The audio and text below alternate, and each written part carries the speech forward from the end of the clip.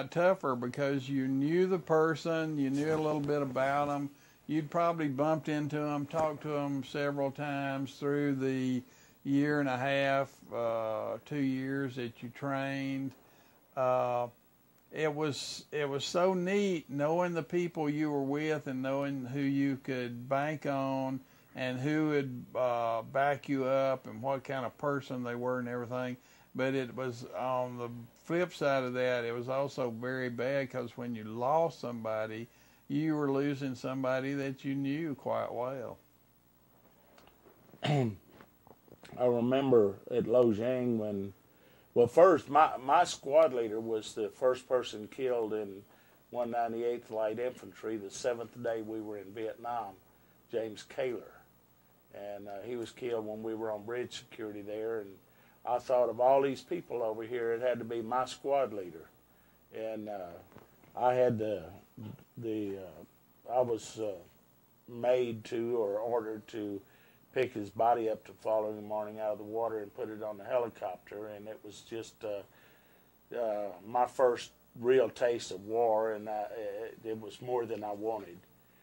And so when we, uh, as, as time progressed and we got to Lo Giang, uh, the first person that I knew that was dead was uh, James Lopp, and he had been my best friend, and he had hitchhiked to my home with me in Yoakum uh, several times from Fort Hood, and you know we did a lot of walking and a lot of hitchhiking and a lot of talking, and we really got pretty close to each other. And he came home with me several times, and when Sergeant Bartley told me that day that Lopp was dead, it was uh, it was just unbelievable, and the pain I felt was more than I ever want to repeat again, and and then as the day progressed and I found out more and more of the guys and you know obviously each one of us knew the other one like Alan said, you know, we may not have been the best friends with them, but we knew who they were, and and you know we'd gone to the beer hall and all sat around a table and drank beer together and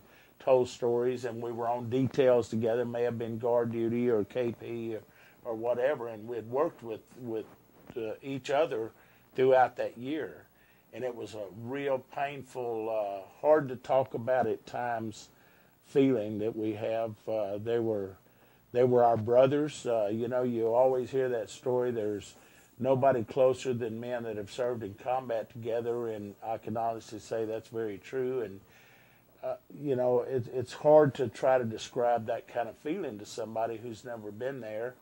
And people can imagine, and they I know they try to imagine, but until you've lain with somebody who's bleeding to death or who's dying, and uh, and you know what their dreams are and their wishes and uh, how they feel about their family and so forth. it's a tough, tough thing to lose a friend like that. And one of the more odd stories that, uh, to me, that's associated with a company like Larry Botch, he trained with us. Uh, we all got to know him real well and everything, et cetera, et cetera. We went to Vietnam. We spent several months in Vietnam uh, with him out in the boonies and, and et cetera. And then at some point in time, they realized that so many of us had trained together and come into the Army together that they needed to somehow spread, get some new blood in there so that so many of us wouldn't uh, need to be sent home about the same time. So they took a bunch of guys, and one of them being Botch, and sent them to other uh, to other units, and Botch was sent to the 196. And it's so funny to me. He comes to our reunions. He fits in great. We all love him just like we love, you know, everybody else that was in A Company. But he to this day says he does not remember one person in the company he went to in the 196. Uh, it's just I don't know something about training all that time together, and then especially uh, the combat in Vietnam that made us really really close. And uh, when you lose somebody like that, like Kaiser said, it's like losing a brother or somebody that's even closer than a brother. Absolutely. You know, losing my best friend Gary Stating. I mean, that's a cloud that's hung over me from then on and I don't. I guess I'll never get you know used to it or anything else. It's just uh, it's hard to describe, but uh, Band of Brothers is pretty much describes it. Yes, absolutely. Uh, Lop and Stating, you know, are guys that, that Alan and Alan and I, and of course he and Stating, me and Lop, and there was others. I lost four people in my squad, uh, which is a lot. Uh, but uh, James Lop was one that there's every day of my life I see his face and hear his voice every day. And Turner was another one, redheaded Turner from Jackson, Georgia. He was he was my machine gunner, and I see his face and hear his voice. And he was a carrot colored hair. Uh, he had hair the color of a carrot, and he was real white complected. and He couldn't grow a mustache. Everybody in my squad had a mustache, but but Turner. And Alan knew him very well, and he got killed, and uh, it, it was just a real tragedy. And you know, not a day goes by that I don't see he and Lop and Kaler and uh, Phelps uh, and hear their voice, and that stays with you for forever. Yeah, and it's always you talked about Turner. It's always struck me. It's funny, you know, I I knew Turner fairly well. I didn't know him that well, but for some reason his death. Maybe it's because he was walking point. I don't know, but for some reason his death just irks the hell out of me. And I mean, at the same time he was getting killed, I was experiencing three near near death situations, probably the closest I came to getting killed, just one after another in a row. And I, maybe that made a difference, but for some reason Turner's death just got to me almost as much as Stating and and Paul's deaths got to me. Uh, you just get close to people yeah. and you never get over losing you, them. You can't accept the fact that they got killed. No. Uh-uh. And, and, Turner was a guy that he he did he looked like a little powder puff, but he was tough as a nail, and he would hurt you if you messed with him. And I told him told him and uh, Madison to shut up one time. They were squabbling and it was hot and we hadn't slept in a couple of nights and we hadn't eaten all day and the flies were so thick you couldn't just couldn't keep them off of you and there was no breeze blowing and we were walking down this little dry creek bed, uh, bed and they were just saying all kind of obscene things to each other like you know about 10 year old kids do you know and i turned around and i said both of you shut up before i spank your butt. I said like you act like little kids. And Turner had a 50 round belt or a 100 round belt in his machine gun, and he just turned it on me and flipped it off of safety, and he said, "You shut up, MF." And I said, "Okay, no problem. I can shut up." And you know, I didn't get mad at him for a, for a minute. I did, but I think if I had done anything stupid, he may have pulled a trigger. We were all at our wits' end. We had had enough of each other. We had had enough of no sleep, no eating and uh, you know, but after that, I wasn't mad at Turner because I knew, I knew him and I trusted him, and uh, he told me to shut up, and I did it, and that satisfied the whole issue. And then next thing I know, everybody's getting along, and they're not arguing and fighting anymore. And you lose somebody that that's that's that high spirited, and, and, it, and it stays with you forever.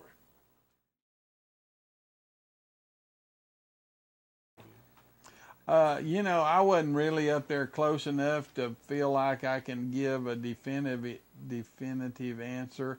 But I feel like you know, if we hadn't been so close to one another, it might have been quite a bit worse. You know, if anybody had started cutting and running, it'd have been hell to pay. They'd overrun us and killed us all, or just about all of us. So I think being a close knit group made us uh, a lot better group. Yeah, I, uh, I, I definitely agree with that. We were we were very close, and as we went out into the rice paddy, Allen's platoon stayed back in the tree line, and second platoon was on the left on the line, and would be on the what east side. Yeah. And I, uh, yeah. third platoon, and then the, the company commander, Captain Brennan, and the artillery forward observer, Lieutenant Swank, and the, all of their RTOs and FOs were at the end of the second platoon line, and they were be, uh, between third platoon and second platoon. Platoon, and I was right at the very edge, within from here to that door from Captain Brennan as we moved across the rice paddy. So as things started happening, I was uh, pretty close, and Captain Brennan told us to pull back. And there were several other people wounded out there, and I, I remember telling him, uh, "We can't pull back. We've got wounded people out here." And he said, "You've got to pull back, and you've got to pull back now." Well, I hadn't seen what he had seen, but I knew one thing: I was raised up to know and and trained to know that you didn't leave wounded people to die by themselves. But I also didn't know the conditions. And as it turned out, Captain Brennan was right. Had he not done that, we would have all died. But uh, being close together like that and fighting for each other, I remember crawling across uh, uh, Polino, and he had been wounded, and he said, "Man, I, I've been hit in the back," and I looked, and there was just a little scratch. But you know, I knew him so well and was so close to him. I knew that something more was wrong. It looked like something had just barely scratched him, but I knew something else was wrong because he couldn't hardly do anything. And uh, so many, so many others. Uh, I remember I was when I finally got wounded. I remember I was out of my head and I was crawling along and I was bleeding and I was going the wrong direction. Lehman Holloway and a guy named Johnson and a guy named uh, Avant crawled out there. They they were back safe in the cemetery, and they crawled out when they didn't have to, and got me turned around, put a clean bandage on me, and got me headed back in the right direction. And that's the way things went all all during that battle. Guys were coming out and tending the wounded guys when the guy when those guys were already back in a safe area. They didn't have to go out there and do that. And had we not known each other and been so close, surely all of the people that were wounded would have died. There's no doubt in my mind. Mm.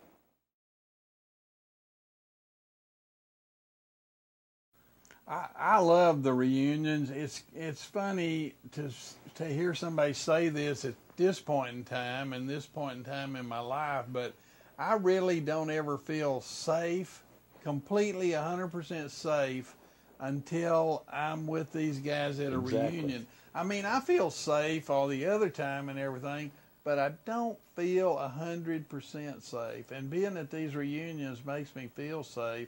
And I, uh, you know, I think it's helped me deal with a lot of stuff. Of course, I'm just getting older too. Maybe that's helping.